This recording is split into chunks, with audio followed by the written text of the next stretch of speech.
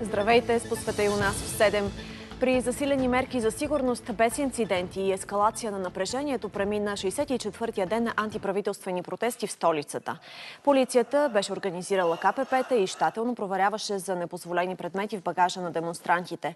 Сутринта при претърсване в градинката пред Народния театър униформените откриха скрити в храстите опасни предмети. Намерени бяха бутилки с запалителна течност, както и такива с боя. Шест души бяха задържани още в първите часове на протеста, но по-късно бяха освободени освободени. Двама от тях са били обявени за издирване, съобщиха от СДВР. Три от лицата са носили забранени предмети, но са отказали да ги оставят. При един са липсвали лични документи. Вечерта протестиращите включиха фенерите на мобилните си телефони и осветиха площад независимост. Исканията им остават непроменени. Оставката на кабинета и на главния прокурор. Към полунощ всички кръстовища в столицата бяха отворени за движение.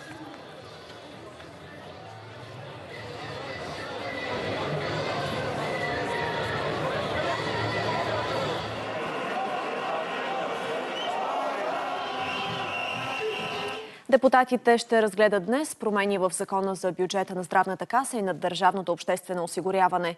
Промените в бюджета на НЗОК предвиждат касата да може да плаща дейности за минали периоди, отчитани от болниците от болниците. Те дават възможност при неосвояване на бюджетните средства за тази година същите да могат да се използват за плащания на надлимитна дейност. Поправките в бюджета на Държавното обществено осигуряване предвиждат минималния дневен размер на паричното обещетение за безработица да се повиши от 9 на 12 лева от 1 октомври. Това ще засегне около 30 000 души за периода до края на годината. И към актуалната картина за разпространение на COVID-19 в страната, която днес показва 163 заразени с коронавируса за денонощието при направени 5090 ПСР теста. Според данните на единния информационен портал от началото на епидемията, заразените у нас са 17 598. В болница са настанени 746 пациенти. Преборилите болестта са с 145 повече за денонощието.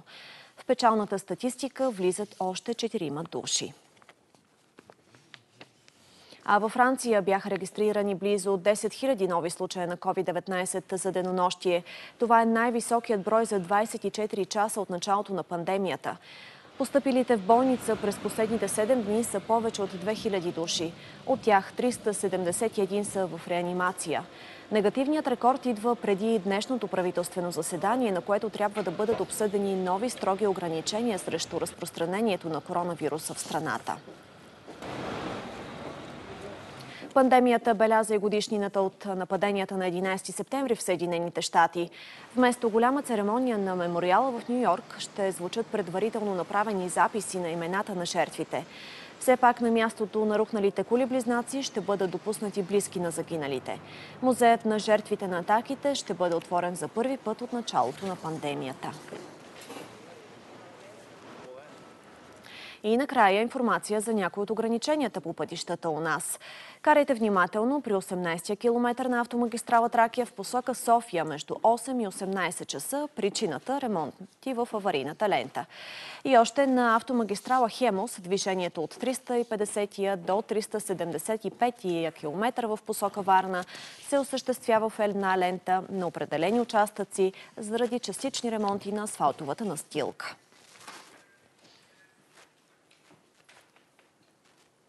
Още новини четете на сайта на БНТ, както и в мобилното ни приложение. Ева Кикерезова сега пък ще ни каже какво време ни очаква в края на седмицата. Здравей, хубаво и с високи температури, нали така? Точно така. Направо ти си го казва, ако искаш. Да, между 28 и 33 градуса ни очакват днес. Повече за времето след секунди.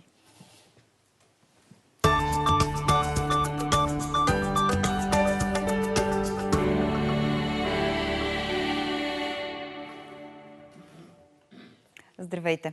Вие сте с прогнозата за времето на Българската национална телевизия.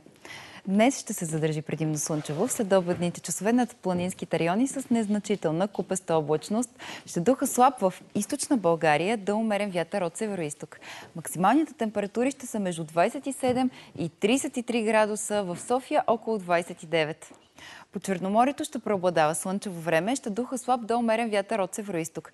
Максималните температури ще са между 25 и 28 градуса, близки до температурата на морската вода, а вълнението на морето ще се усили до 2-3 бала. Слънчево и в планините, като в следобедните часове е възможно краткотрайно за облачаване. Максималните температури по най-високите върхове ще са между 11 и 15 градуса, а в курортите от 18 градуса на леко до около 28 градуса в Банско и в Добринище. Ще духа слаб до умерен предимно източен вятър. Слънчево ще е времето и на Балканите, като в следобедните часове ще се заоблачи предимно над северните части от полуострова. Температурите обаче ще останат по-високи от обичайните за периода. Предимно слънчево ще бъде и над по-голямата част от континента. Временно увеличение на облачността ще има над Алпите, където ще има краткотрайни превалявания от дъжд. Дъжд ще вали и на британските острови, на места на Скандинавския полуостров, както и в северните части на Европейска Русия. У нас и през уикенда и в началото на следващата седмица ще бъде слънчево, по-значителни времени увеличения на облачността ще има над южните райони от страната в понеделник и във вторник, когато има малка вероятност за слаби превалявания от дъжд. Ще се задържи топло с максимални температури между 27 и 32 градуса. Такава е прогнозата за времето. Пожелавам ви приятен ден!